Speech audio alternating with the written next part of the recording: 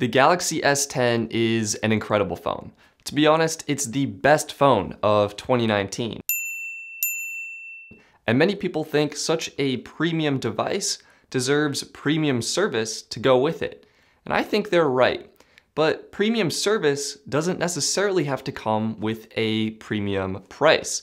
In this video, we're taking a look at using the Galaxy S10 on Mint Mobile. Mint offers some of the most affordable cell service in the United States right now, and I want to see what the experience is like using Mint on the Galaxy S10. We're going to be testing all the core features of cell service, including texting, calling, and cellular data.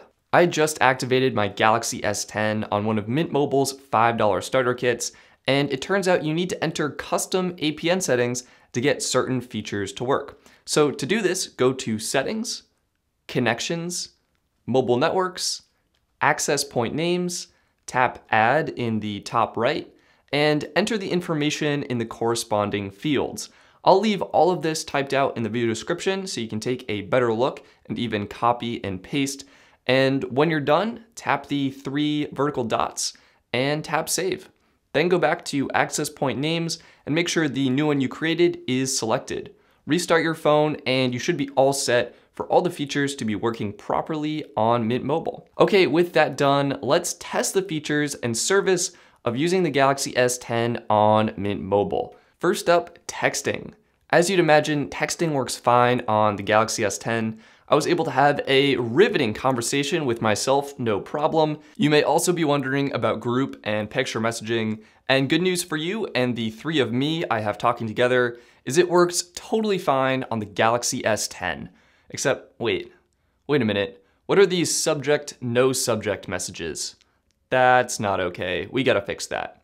To fix this issue, go into the Google Play Store, search for Messages, and install the Messages application by Google. This is a free application available for all Android devices. Once it's installed, open it up and set this as your default messaging application. You can see our messaging issue is resolved. The phone service also works flawlessly.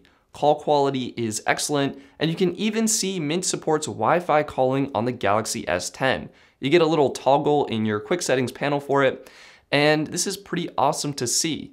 The one downside to calling is visual voicemail isn't supported natively on the Galaxy S10. You'll just get notifications when you get a new message, and when you tap on them, they will immediately call your voice mailbox.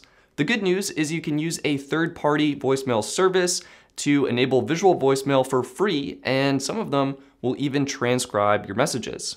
And finally, on to cellular data, one of the most important features in today's world. And data is fast with the Galaxy S10 on Mint. With tons of LTE bands baked into this thing and strong coverage, I was getting some of the fastest speeds I've tested in my area, pulling around 100 megabits per second down and pushing over 25 megabits per second up. Oh, and how could I forget the personal hotspot, my favorite feature. This is also supported on the Galaxy S10 on Mint Mobile. Simply flick the switch in settings or tap on the quick setting toggle and your phone can share your mobile data with your computer, tablet, or other devices. Some carriers limit your hotspot data in some way, whether with reduced speeds or only giving you a certain amount. What I love about Mint is they do none of these things. Your data is your data, whether you use it on your phone or share it with your computer, and you will always get fast speeds.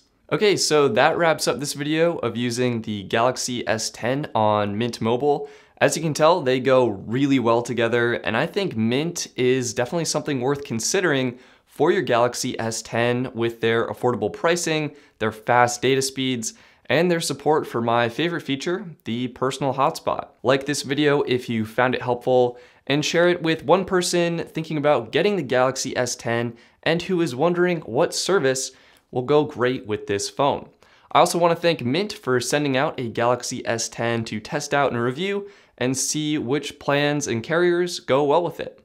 That wraps up this video. Thank you so much for watching. I'm Stetson and I'll see you next time.